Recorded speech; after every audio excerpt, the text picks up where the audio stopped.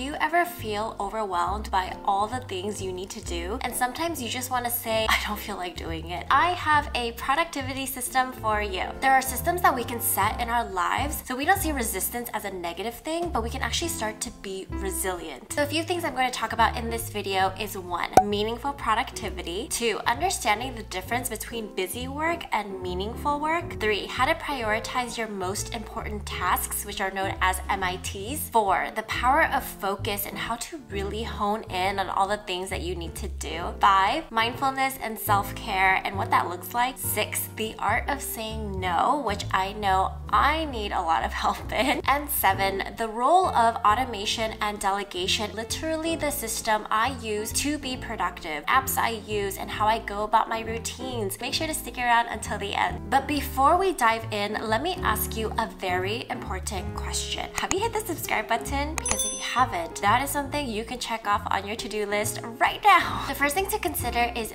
meaningful productivity. It's really easy to get caught up in the hustle and bustle and this hustle culture that we live in. Many times people strive for productivity at the expense of their well-being or some people allow productivity to define them. But we want to go for meaningful productivity. Why do you have all these things that you need to do? Why are you doing what you're doing? I've been working since I was 16 years old and since then I've had over 20 different jobs. I've really never stopped running or kind of sprinting on this treadmill of life. The message I tell myself is I don't have the privilege of being able to stop. A lot of my goals and even why I started this channel is actually to try to get my family as far away from the life that they used to live. As a daughter of immigrant parents, I want to protect my family. I want to be able to have enough because people are depending on me. And I feel like as I got older, that became more and more heavy because when you become a spouse or if we become a parent, the to-do list never ends. I am a maximalist and I try to make the most of all my time, but I am now getting to a place of learning very recently. It's okay to find a jogging pace. It's okay to not have to try to sprint through a marathon. If that means posting three videos instead of four videos a month, I'm not going to be hard on myself and it's okay. And for you, it may be cutting back on certain things and that's okay. And I'll get into that a little bit later. Number two, it's crucial to distinguish the difference between being busy and being productive. Many times we might fill our schedule with a lot of busy work, but it may not actually be meaningful to us or we're not being super efficient with our time. As a full-time YouTuber, while also having a full-time job, I have to be really mindful of my time and where I want to spend my energy. And I don't have time to, you know, change the settings on my camera. I need to go and I film as the moment is happening. So as I talk about my YouTube life, I do want to share today's sponsor of this video is Nikon. I did share that while I was in Japan, my vlogging camera actually broke. And then it was the most perfect timing where Nikon asked to collaborate with me. And so now I have a new vlogging camera. I'm actually using the camera right now. I'm so thankful for the Nikon Z30 because I think it's perfect for people who are looking for consistency, but it's not going to compromise the quality of your footage or your photos. And it also has advanced features if you're looking for that too, but I am definitely an auto person. the Nikon Z30 offers a professional 4K image quality, so it has a really sharp and reliable autofocus feature. I'm using it right now and it's able to focus on my face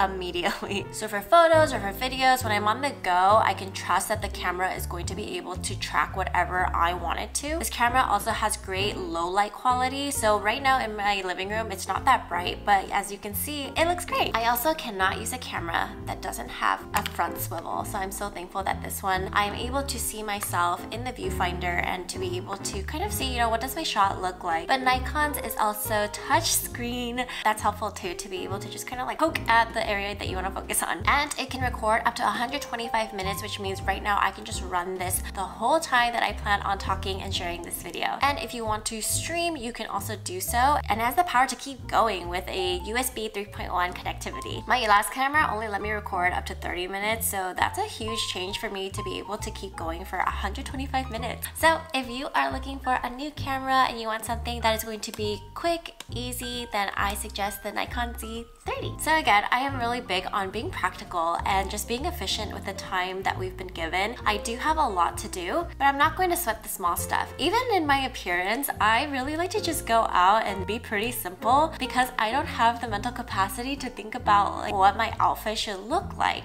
And that's just me. And I know some people who find so much joy in how they dress and making sure everything matches, but I'm all about just like comfort. And I shared on my story, I, I want to be like a Pinterest girly and I want to look all cute, but then I see my oversized t-shirts and my stretchy pants and I'm like, yes, I choose you every day. So number three, how to prioritize your most important tasks or your MITs. And we're going to use the Eisenhower method. So Eisenhower method is basically this. You create a little cross table. At the very top, you write not important, and important, and then not urgent and urgent. And you're basically creating like a Punnett square, seventh grade science class, and figure out, okay, with all the things that you have to do, which one is something that you must do right now? And go ahead and fill it out right now. Figure out. And you want to fill it with all the things that you have on your to-do list. So the first thing you want to do is make a to-do list. What are all the things that you are just overwhelmed by? Whether it's classes or assignments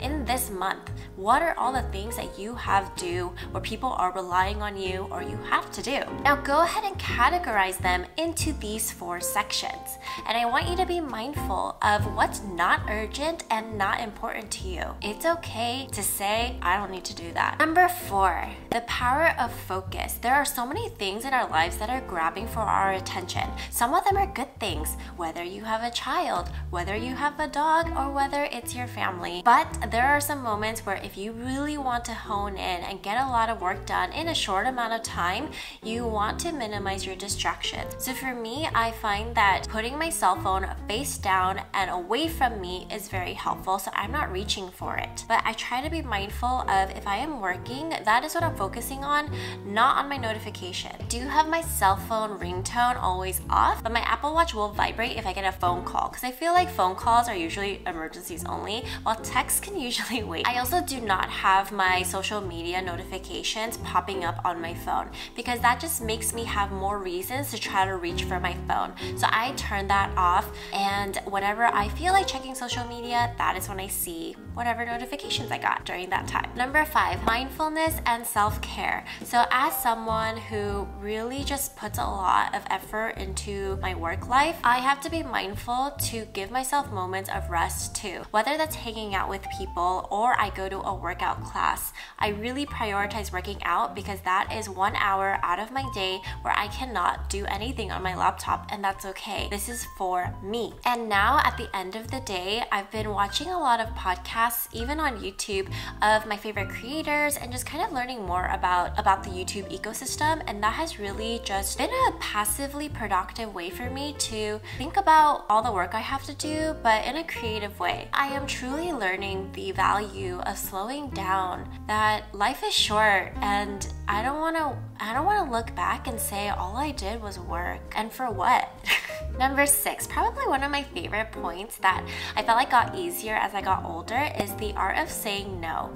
Just because you say no does not mean you don't like that person, love that person, or that you don't care about responsibilities. It's knowing your boundaries and knowing that you don't have to do it all. And that's something I have to tell myself. So I don't have to go to every single hangout and I don't need to feel FOMO. I have a certain capacity and as an introvert, I kind of just need to be by myself sometimes and that's okay. But on the flip side, I don't need to always be alone because that's not good for me either. But it's understanding our boundaries and if you know that you're stressed out right now and somebody asks you to do something, you can say, I would love to, but unfortunately I don't have the capacity to do it right now. That might be something you just are not interested in and that's okay. And number seven, this is the real system that I follow when I'm feeling overwhelmed. Ah, So we're going to talk about apps and we're going to talk about just kind of how I how I navigate my life and all the things I have to do. The apps that I use are Apple Notes, Google Calendar, Todoist, and Notion. So let's start off with Apple Notes. On my Apple Notes, I just have just word dumps of everything I have to do, whether it's a crazy to-do list of everything I have due this month. And I also make sure to write, I just kind of make lists. I just kind of word dump everything I have in my head. And that also makes sure that I don't let anything fall through the cracks because I've written it down. So that's kind of like while I'm out and about and I'm thinking about like, oh, I have all these things to do and I'm stressed out. I let me just write it down. And on Google Calendar, my husband and I, we have a linked calendar and we basically just put any events where we have to physically be somewhere, whether it's a Zoom meeting or whether it's a workout or I'm meeting someone for lunch. I put it in the calendar. So that's when I know I won't be home. Todoist is how my husband and I delegate tasks for each other without having to nag each other and remind each other like, hey, you need to do this. Hey, fold the laundry, fold the laundry, fold the laundry. On Todoist, you can actually make a list and assign when it's due and it'll send reminders and you can see it all in one place and we don't have to nag each other because it's all right there. And on Notion is actually where I organize all of my YouTube work because I feel like categorizing things really helps me. So Notion I pretty much use mostly for my YouTube work, but of course if you want to put your personal work or your day job and put notes and meetings in there too, you can. But this has just been a way for me to create a system that works for me. So even when I was in school, if you have an assignment due right before your spring break, don't think you have all that time, but I would say try to give yourself at least three days before it's due, just in case anything comes up. And I always make my deadline at least two to three days before the actual deadline. Then I'm not stressed and scrambling. But what's really important is actually sticking to the plan that you set. But after you know what you really need to do, follow the system that you're going to get this done and write it down. So I hope thinking about productivity in this way has helped you in some way. And yes, I am trying to slow down a little bit and really just be mindful of what is meaningful to me and only putting out work that is meaningful and that glorifies the Lord. So if you like what you see, please like and subscribe and I'll see you later.